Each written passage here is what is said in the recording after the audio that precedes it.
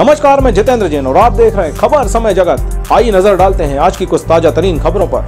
चित्रंगी मध्य प्रदेश पटवारी संघ अपनी तीन सूत्रीय मांगों को लेकर 10 अगस्त 2021 से कलमबंद हड़ताल पर है, जिसका आज सत्रहवां दिन चल रहा था, जिससे किसान और आमजन को काफ़ी परेशानियों का सामना करना पड़ रहा है। चित्रंगी विधायक अमर सिंह ने प्रदेश सरकार को पत्र लिखा है कि पटवारियों की मांग और किसानों की समस्या हल करने सरकार को बीच का रास्ता निकालना चाहिए।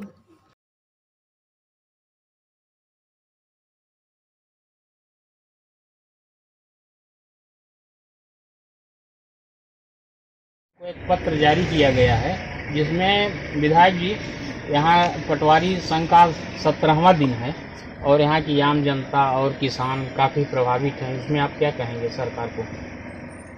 धन्यवाद रजनीश जी। पटवारियों की समस्या तो है। इसके साथ साथ इनके समस्या के साथ किसानों की भी समस्या जा। रही है। इनको भी समझना चाहिए। इनकी मांग जायज़ है। जी। उनको ये आज पत्र हम दिए हैं सरकार को। जी।